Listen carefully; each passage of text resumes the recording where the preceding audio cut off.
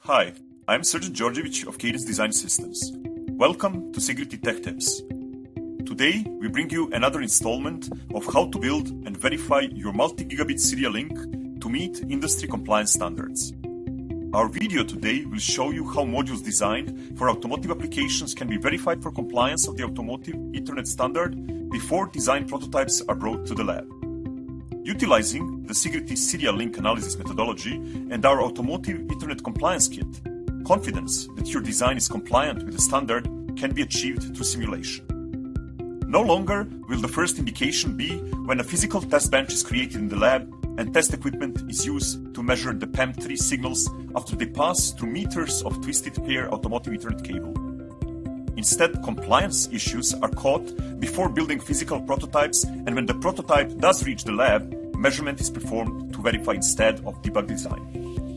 With the complete automotive Ethernet solution, you will be able to pass industry compliance tests the first time.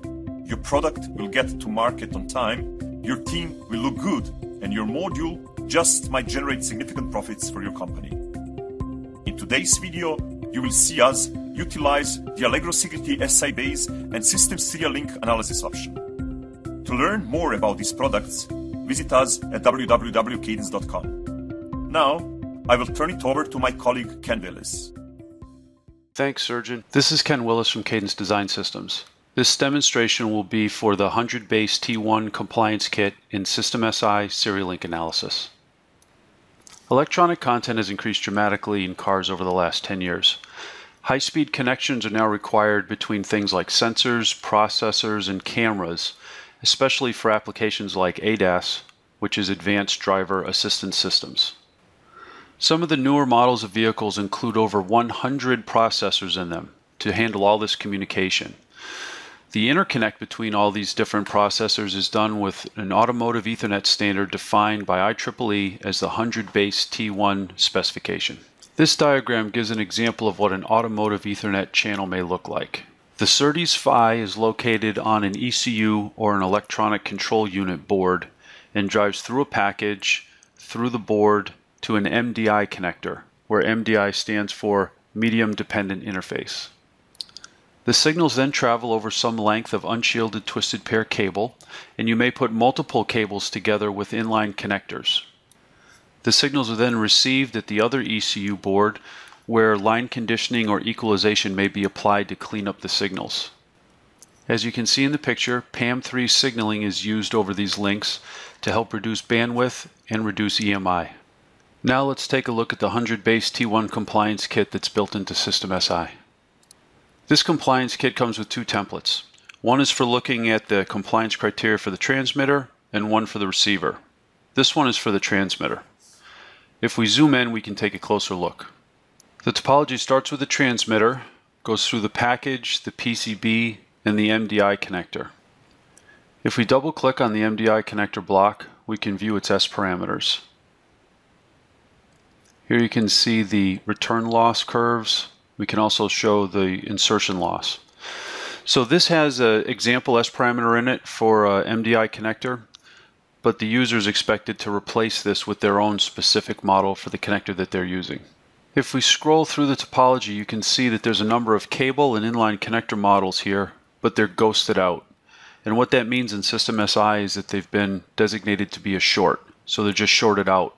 So they're not really included in the simulation at this point. So you basically have the topology, you've got the board through the MDI connector driving to the receiver. Now we can look at the compliance checks associated with the transmitter. These include the droop test, the jitter test, the power spectral density test, and also the transmitter peak differential output test. So we'll turn on all the compliance checks for the transmitter and kick off the analysis. When the analysis is completed, the sign-off report will appear. This shows us links to the spec, a diagram of the general topology, and then a summary of all the results from the compliance checks that we decided to run. The first test is for transmit droop. The maximum allowable droop is 45%, and you can see in this case we passed because we're less than that at around 28%. If you click in the table, we'll bring up the plot. In this test, we have to transmit a long string of plus 1 and minus 1 symbols in the PAM3 scheme, each for longer than 500 nanoseconds.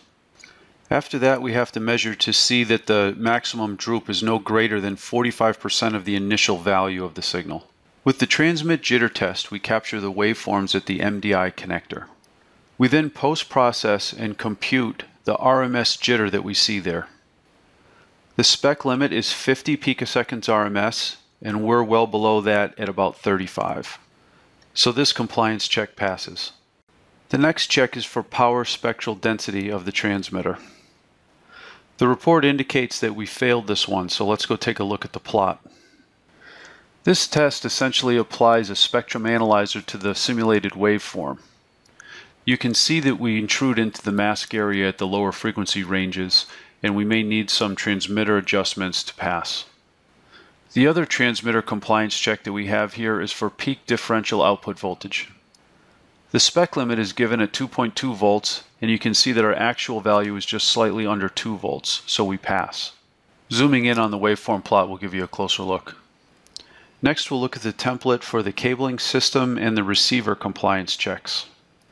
This template is very similar to the transmitter template we looked at. In contrast though, you can see that the cable models and the inline connectors are not shorted out and they are all in place. This template contains five cable models, giving you an equivalent length of 15 meters. The cable models and connector models can easily be turned on or off to adjust the length, or you can replace with your own models. The kit also comes with a PAM3 aware receiver AMI model, which contains multiple modules. One is the AGC or automatic gain control module, the continuous time linear equalizer module, and the DFE module for decision feedback equalization. Any of these modules can be turned on or off in the overall AMI model. Next, we can look at the compliance checks for the cabling system and for the receiver. For the cabling system, these checks consist of characteristic impedance, insertion loss, return loss, and mode conversion loss. For the receiver, we will check the eye height and the eye width at a bit error rate of 1e to the minus 10. Users can enter in the requirements for their own receiver. In this case, we'll enter 50 millivolts for eye height and 0.5 UI for eye width. We'll turn on these compliance checks and kick off the analysis.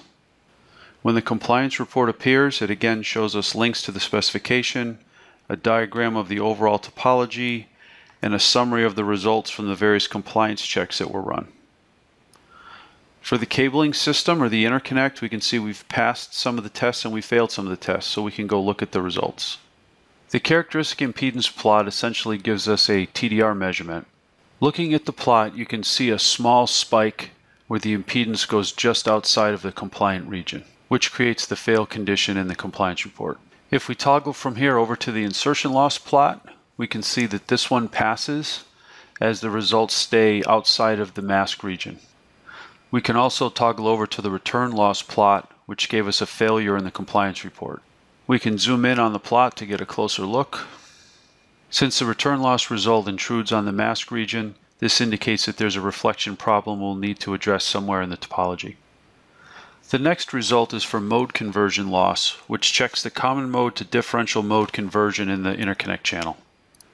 Here you can see that the result does not intrude into the mask region, so this compliance check passes. Next, we'll look at the eye height and the eye width compliance checks at the receiver. Both of these checks pass at the bit error rate of 1e to the minus 10. The requirement we entered for eye height was 50 millivolts, and you can see here the simulation result is just slightly over 50 millivolts, giving us a passing grade. Looking at the plot shows you just how close that is, so there's actually not much margin in this particular check, even though it passed. Looking at the bathtub plot for the eye width, you can see that we have significantly more margin here. The red arrow indicates the requirement and the bathtub curves show you the actual value from the analysis. We can also simulate the channel directly and of course you can substitute all of your own models in for any of the blocks or add or delete any of the blocks between the receiver and the transmitter. During the channel simulation, there'll be real-time plots from the receiver's AMI model showing you how the DFE coefficients are adapting and also how the CTLE is adapting. When the channel simulation completes, we can go in and look at the different eye contours for the PAM3 signals and also look at the various bathtub curves. These are plotted for the composite eye as well as the individual eyes that make up the overall PAM3 eye diagram. You can also review the eye density plots in both 2D or 3D views.